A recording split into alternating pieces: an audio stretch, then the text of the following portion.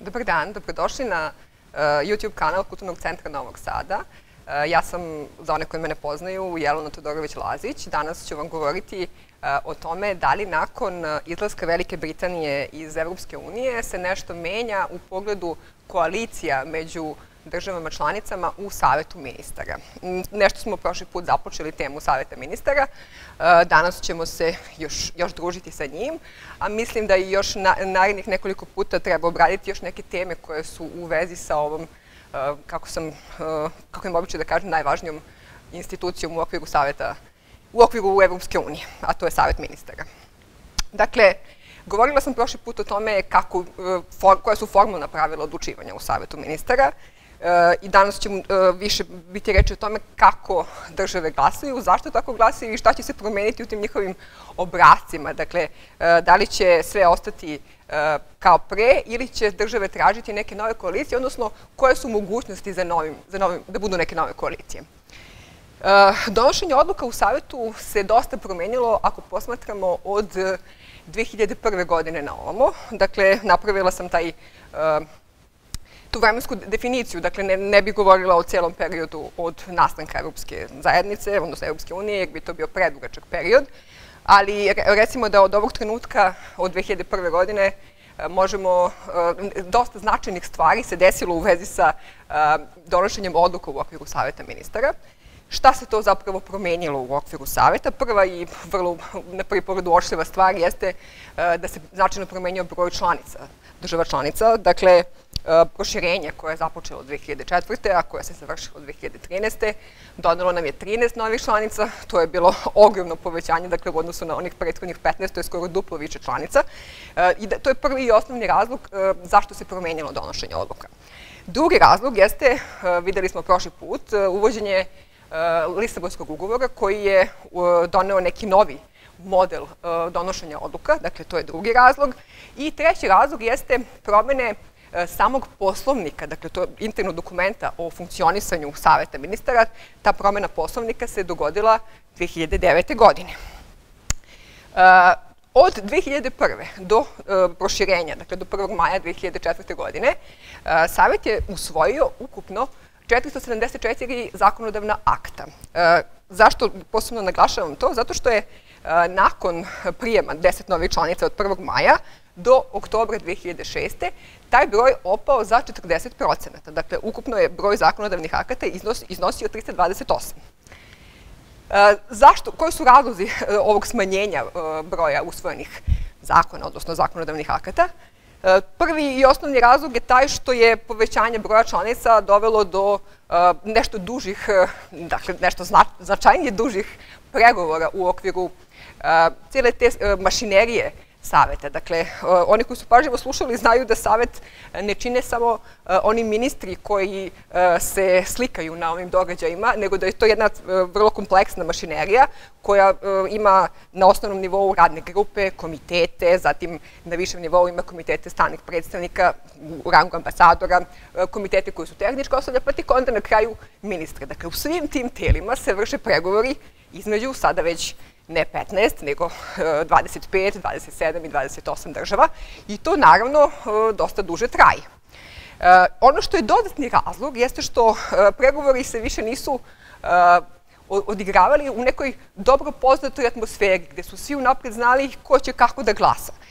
I prosto nove članice nisu bile naviknute na ono što je, što sam pomenula, pomenula kao jednu uh, neformalnu karakteristiku odlučivanja, a to je da je više prisutno odlučivanje konsenzusom, iako postoje neka formalna pravila za odlučivanje. Dakle, nove države članice su nenaviknute na to odlučivanje konsenzusom i uh, one su prosto u početku želele da demonstriraju svoju glasačku snagu, odnosno svoju uh, moć kao nove države članice, time što nisu želele da pokleknu i da dogovore lako te, da kažem, konsenzuse. O svemu tome su države članice vodile računa, pa je naravno prilikom dogovaranja oko novog modela donošenja odluka koji bi se odnosio na period kad te države postanu članice nakon dakle 2004. Misli se prvenstveno na ugovor o Ustavu neuspeli i na ugovor iz Lisabona, a i na ugovor iz Nice ranije, kada je već bilo jasno da će biti proširenje u početkom 21. veka.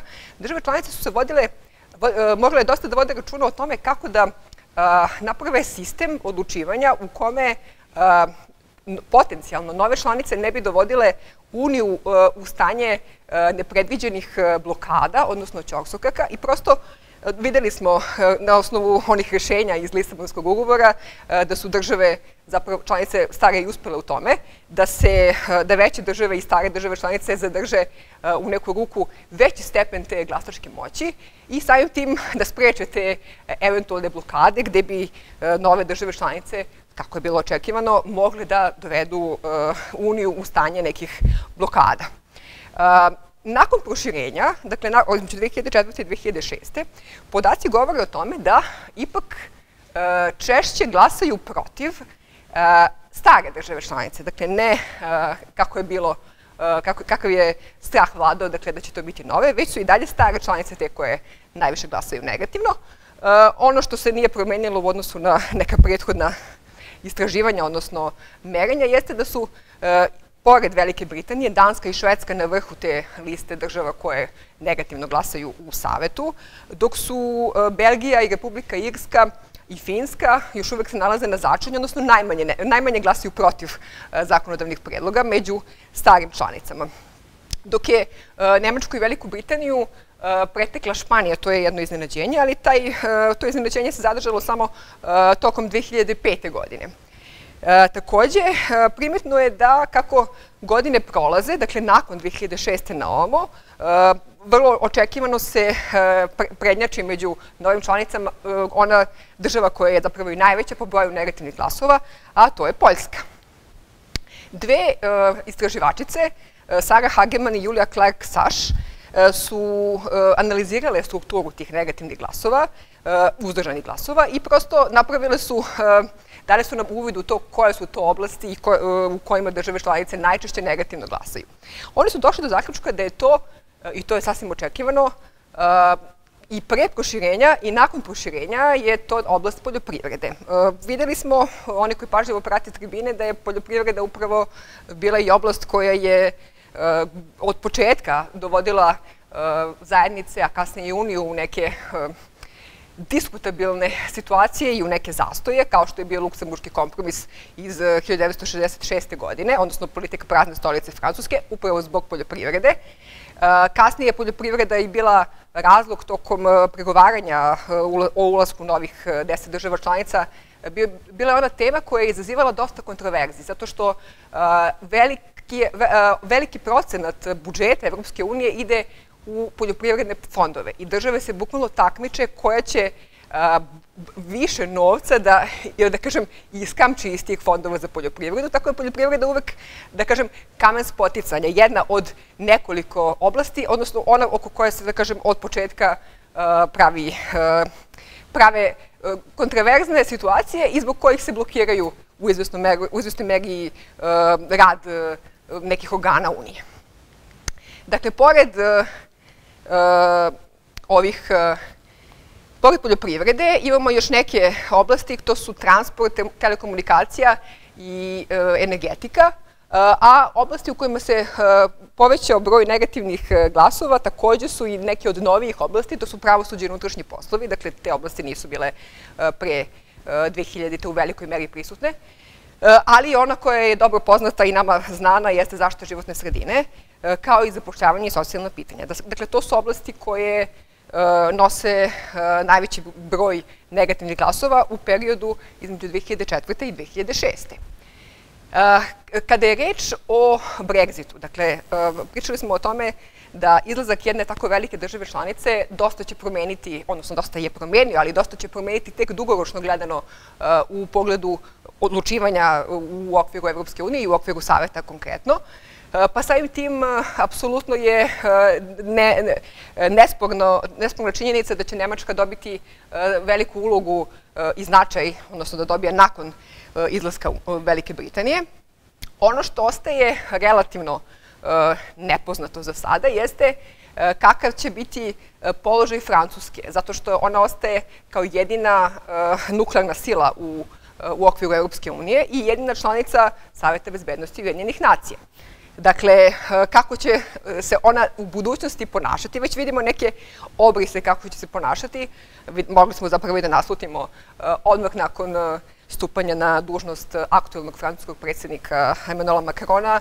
Videli smo da će on želeti, kao što i dalje želi, da preuzme ulogu neformalnog lidera Evropske unije i Evrope kao takve, što se posebno vidi ovih dana u pogledu ukrajinsko-ruskog rata. Eh, ali to je neka druga tema. U svakom slučaju, hoću da naglasim da kada je reč o ulozi Francuske, Macron je inicijalnim dolaskom na, na vlast prosto želeo da se oživi nekadašnji francusko-nemački motor integracije i on je to zapravo istako odmah nakon svog izbora u čuvenom govoru na Sorboni, gde je pozvao na novo partnerstvo sa Nemačkom. Međutim, videli smo između dakle, tog govora na Sorboni i odlaska nemačke kancelarke Angele Merkel u penziju krajem 2021. godine, videli smo da u tom oživljavanju motora evropske integracije Macron je ipak od početka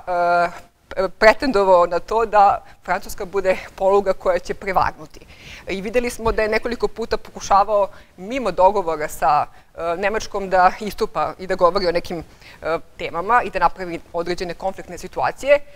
I prosto sada, nakon što je otišla osoba koja bi mogla da ga, kako da kažem, obuzda u tim namerama. Dakle, na mestu kancelara Nemačke više nema tako e, jedne jake ličnosti i e, mislim da je sada vrlo izvesno da će u ovom svom e, kandidaturi za novi mandat vrlo sve karte da uloži u to da je on budući lider Evropske unije. Ja kažem da ne skaćem sa glavne teme, recimo a nije potpuno skretanje, ali interesantno je kada već govorimo o tome kakva može da bude uloga druge po veličini države Evropske unije nakon izlaska Velike Britanije. Takođe, ono što je nejasno jeste buduće pozicije ostalih velikih država. Videli smo prošli put koje su to velike države i dakle, diskutabilne su, nisu diskutabilne, ali recimo nisu toliko poznate pozicije kakve će da zauzmu Italija, Španija i Poljska. Eh, Italija je od početka, dakle, država osnivač eh, evropskih zajednica i ona je od početka ispoljavala vrlo integrativne sklonosti ka eh, daljoj podobljivanju integracije.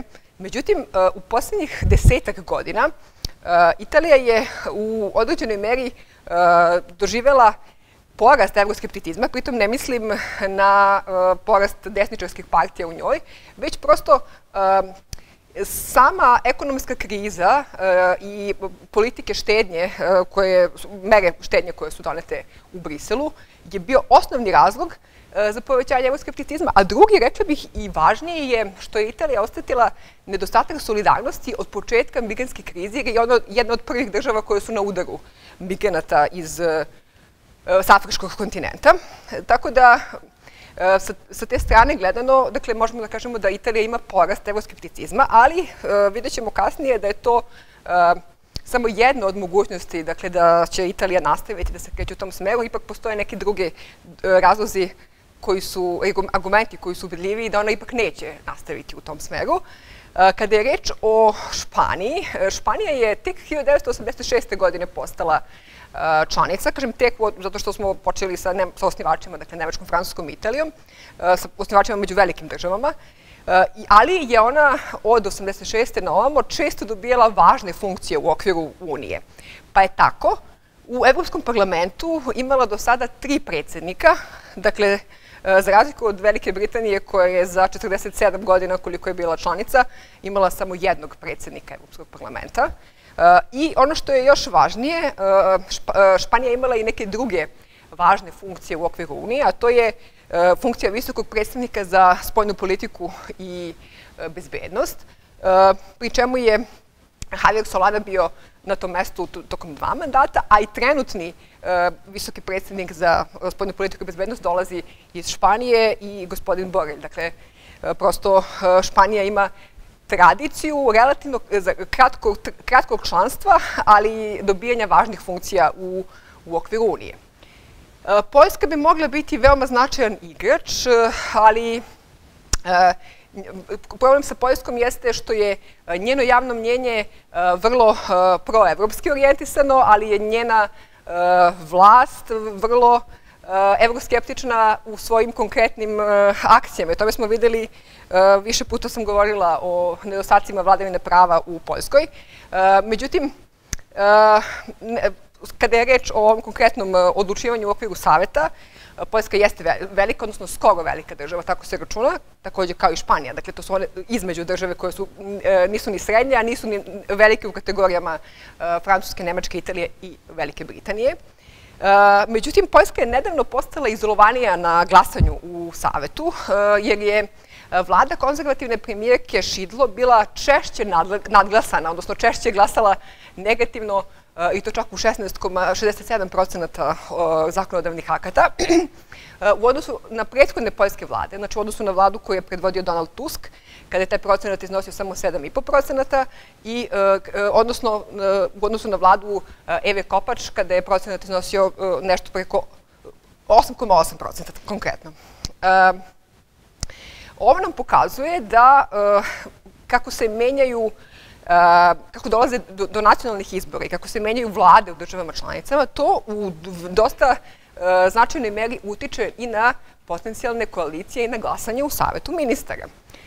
Da je ideologija važna i da igra značajnu ulogu, pokazuje nam podatak da se i onako visoka stopa podudaranja, odnosno koalicije između Italije i Francuske, povećala tokom sinhronizovanja njihovih socijaldemokratskih vlada. Dakle, na čelu ovih dveju država bili su predstavnici socijaldemokratskih e, stranaka i u to vreme e, su Francuska i e, Italija glasale zajedno, to jest bile u koaliciji u skoro 99% slučajeva. Znači, na 99% glasanja one su bile zajedno. To je jedan od onih argumenta zašto Italija neće ići evroskeptično, već će se držati vrlo verovatno te bliske uloge, odnosno veze i koalicijonih partnerstava sa Francuskom, osim u jednom slučaju, evo to ću, o tome ću nešto kasnije.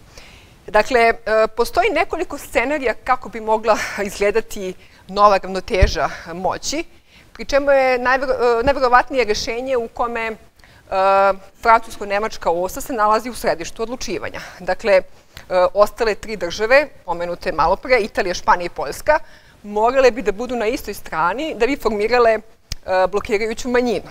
Međutim, kažem, e, ovaj, Italija redko je na suprotnoj strani od Francuske, tako da ona nije predodređena prosto da bude e, protiv teža. E, a posebno ako imamo u vidu to da je Italija od 2009. godine glasala negativno, odnosno nadglasana svega 12 puta, ali uglavnom dok je Silvio Berlusconi bio na čelu njene vlade, dok je, od kad je Matteo Renzi preuzeo mesto premijera, samo jednom glasala negativno.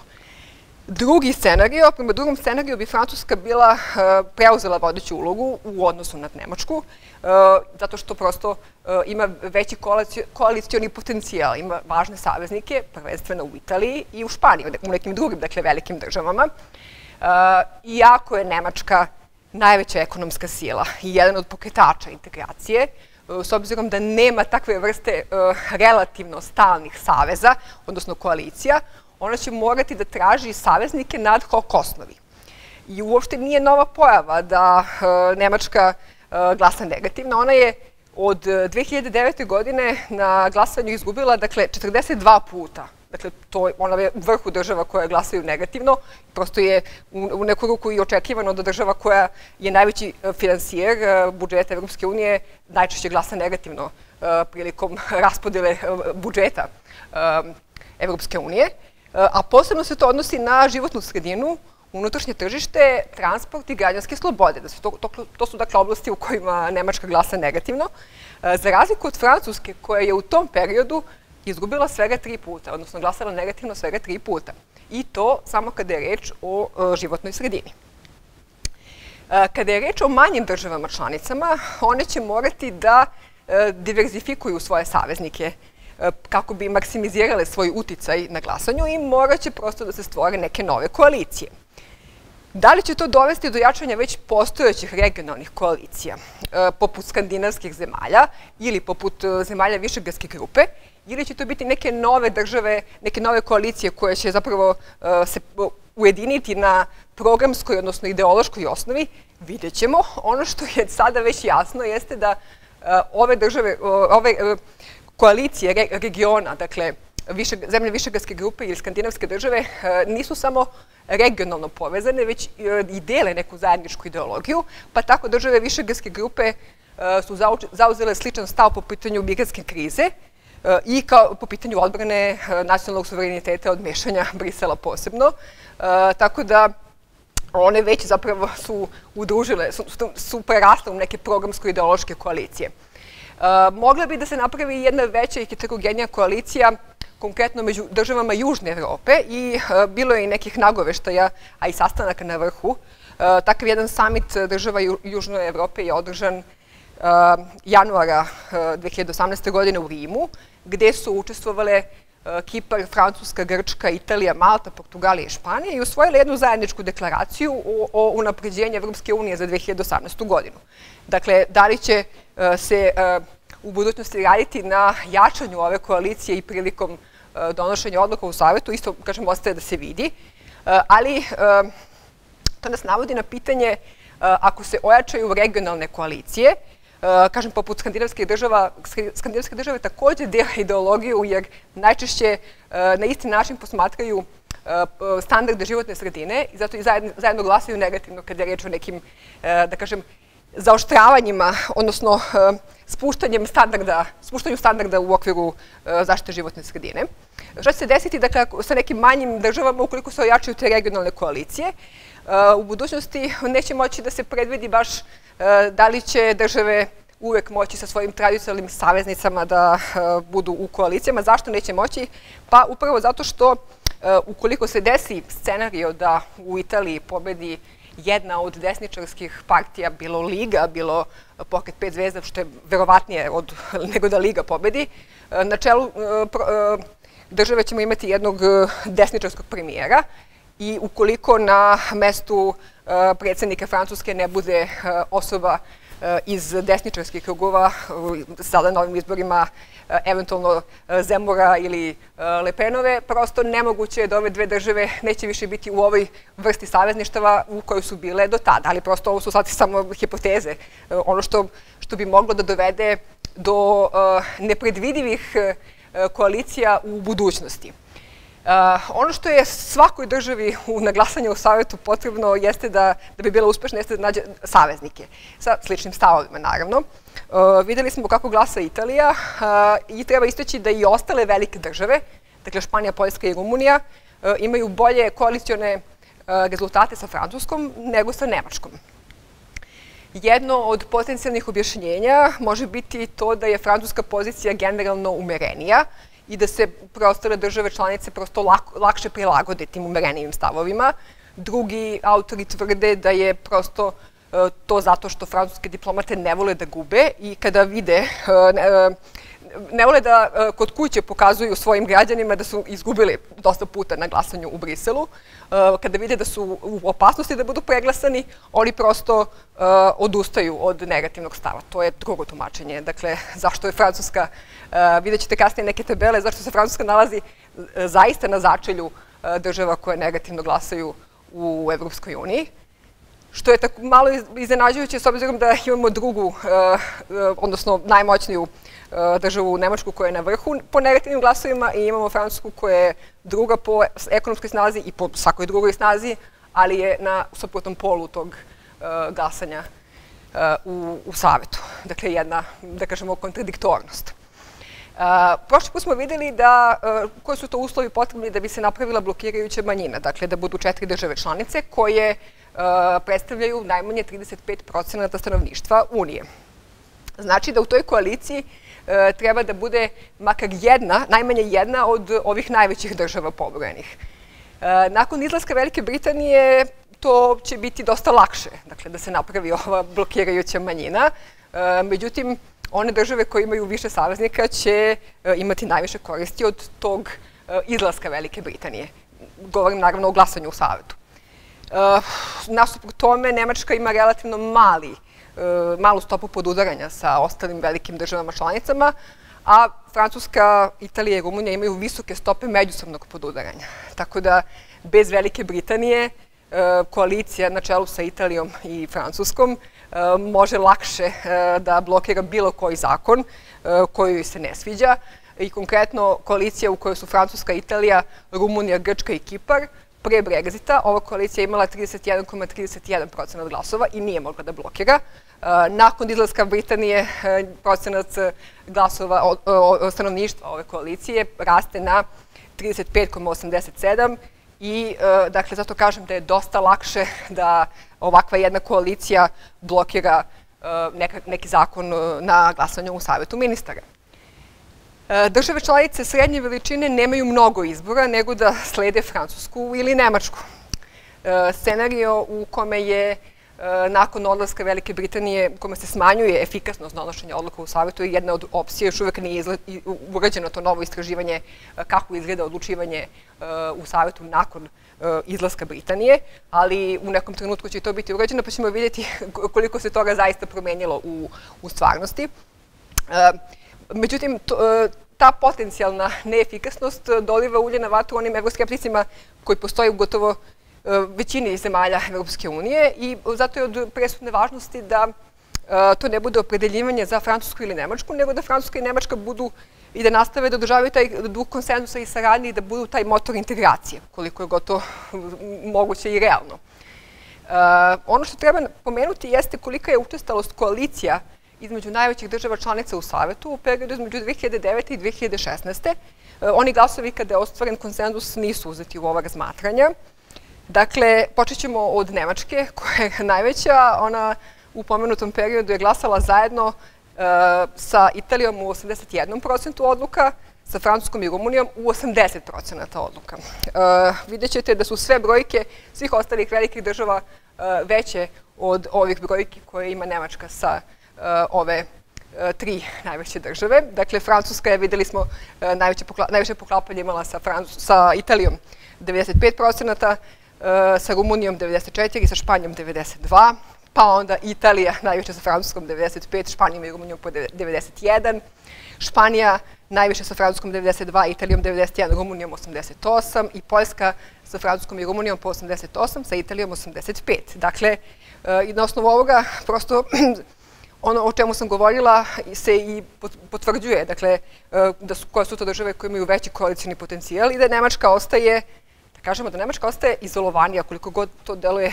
absurdno, znajući na e, koje su kapaciteti Nemačke u svakom smislu. E, kako se u svemu ovome pozicioniraju manje države, dakle, treba možda pomenuti moguću koaliciju država Beneluxa i sa državama Višegradske grupe i Baltičkim državama, e, baš zato što su glavne saveznice Velike Britanije bile neke od severnoevropskih suseda poput Švedske, Holandije i Danske e, i države Beneluxa i države Višegradske grupe, izuzev Mađarske, e, često su bile usklađene sa Velikom Britanijom po mnogim pitanjima i izgubile su, dakle, važnu saveznicu. Bez Velike Britanije je malo verovatno da one zajedno naprave jedan blok. Zašto?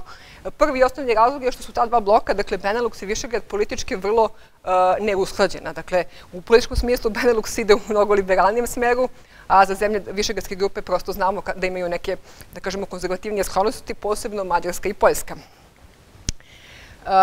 Još je važnije da čak i ako se ovi blokovi slože, dakle, čak i ako se prevaziđu ove da kažemo, ideološke razlike među njima. E, njihovo zajedničko stanovništvo će biti samo 22%, što nije ni približno onih 35% što je neophodno za blokirajuću manjinu. E, tako da, opšte posmatrano, to povlačenje Velike Britanije će verovatno uticati na e, opšti ideološki kurs saveta, zato što prosto glavni zagovornik slobodne trgovine je napustio Uniju, odnosno napušta Uniju.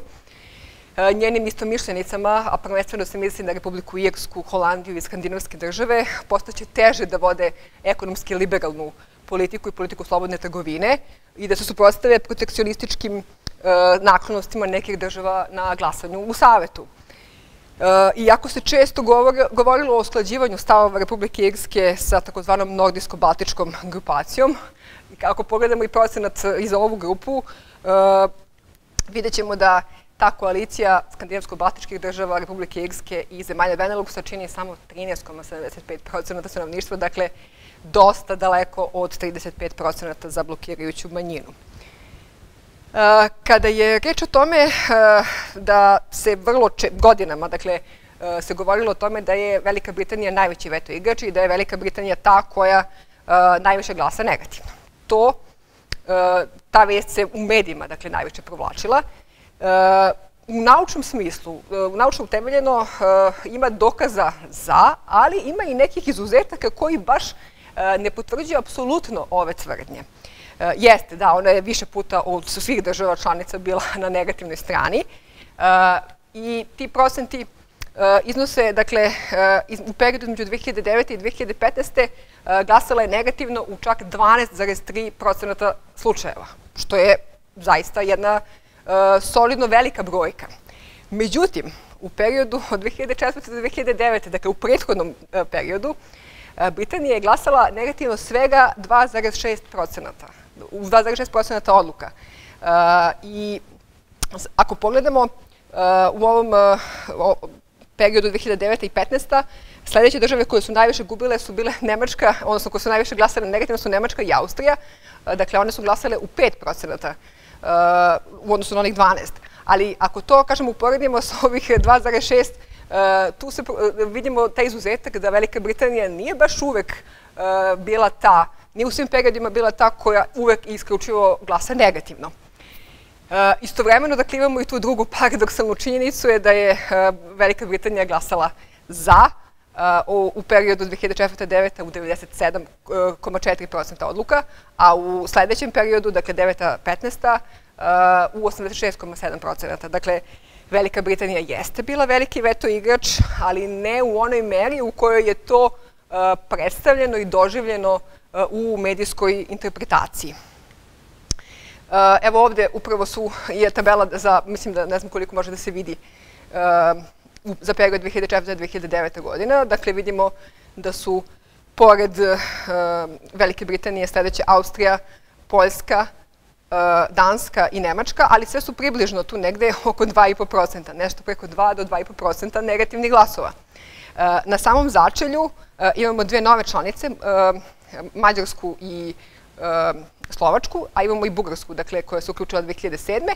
Ali, pre toga imamo Francusku i Finsku, dakle, ono što sam govorila o tome da, da je Francuska na začelju, a Nemačka na početku, da možemo da pratimo ovde taj obrazac, a možemo i na sledećem grafiku, dakle iz 2009-15. godina, ovde vidimo ovaj skok drastičan gde nam crvena boja ukazuje da je Velika Britanija gotovo preko 12% odluka glasala negativno, Odmah pored nje su takođe Austrija, Nemačka, Holandija i Danska, dakle to su običajne države koje glasaju negativno, dok na kraju imamo opet Francusku koja je ispred Hrvatske koja se godinu i po ranije uključila i Litvanije, dakle opet je Francuska na začelju.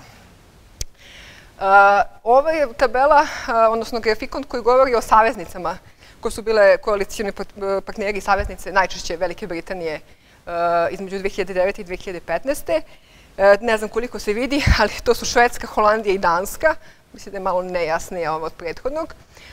Koje su bile oblasti u kojima je Velika Britanija sa ovim državama najčešće glasala za. To su bile oblasti koje se tiču liberalizacije i globalizacije i sa tim povezanim programima konkurentnosti, naravno. To su pitanja koje se odnose na budžet, To je konsolidacija unutrašnjeg tržišta, uh, uticaj država članica van eurozone na države članice eurozone. Prosto to su ona pitanja gde uh, Velika Britanija se nalazila zajedno sa, sa Danskom van eurozone i zato su bila važna ta pitanja da se glasa, da glasuju po tim pitanjima zajedno.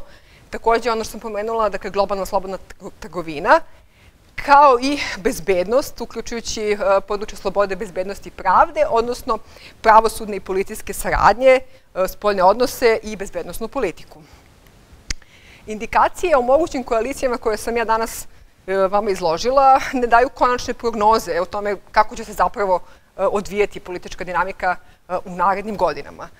Budući politički događaj u državama članicama u velikoj meri mogu uticati da se pokažu neke drugačije tendencije od onih koje su predstavljene. E, ipak, na osnovu iznetih podataka može se očekivati da će Švedska, Holandija i Danska kao bivše saveznice Velike Britanije tražiti da nastave te bliže veze i odnose nakon povlačenja Velike Britanije. Ima nekih nagoveštaja da se oblikuje ideja nove hanzeanske koalicije, odnosno obnavljanja Hanzeanske lige iz 13. i 14. veka. To je ona grupacija skandinavskih, baltičkih i Benelux zemalja sa Republikom Irskom koja, kao što smo videli, ima svega 13,75% stanovništva. Dakle, nije, ne može da blokira. To ne znači grupa koja formira većinu ili manjinu, ali to je grupa koja može da bude katalizator u određenim oblastima, povremeno bi mogla da uravnoteži francusko-nemačku osu, odnosno neku od ovih država ukoliko budu ukoliko budu prevagnule da se pojedinačno, da budu pojedinačni lideri Unije i definitivno će ta jedna nova, po znacima navoda, hanzejanska koalicija biti nezobilazan faktor u postavljanju buduće agende Evropske unije. E, ovim bih završila današnju tribinu i najavila da ćemo sledeći put govoriti o ulozi predsedavajućeg saveta ministra. To je ono što je upravo e, trenutno Francuska, uloga koja obavlja trenutno Francuska, nešto bliže o tome koja je razlika među velikim i malim državama kad predsedavaju i kako ovakve situacije poput iznenadnih kriza utiču na e, ulogu predsedavajućeg i šta zapravo podrazumeva ta uloga predsedavajućeg.